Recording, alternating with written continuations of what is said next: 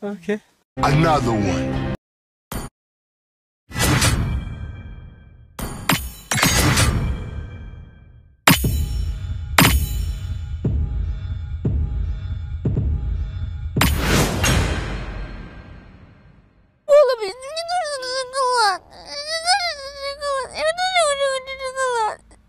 One hour later.